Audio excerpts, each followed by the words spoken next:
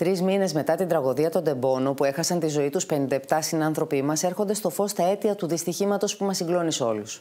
Το πόρισμα των δικαστικών εμπειρογνωμόνων είναι καταπέλτης για τη Νέα Δημοκρατία.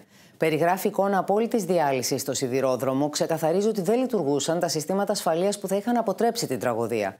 Είναι καταπέλτης όμως και για τον κύριο Μητσοτάκη προσωπικά, που έσπευσε να βγάλει πόρισμα και να μιλήσει για ανθρώπινο λάθος.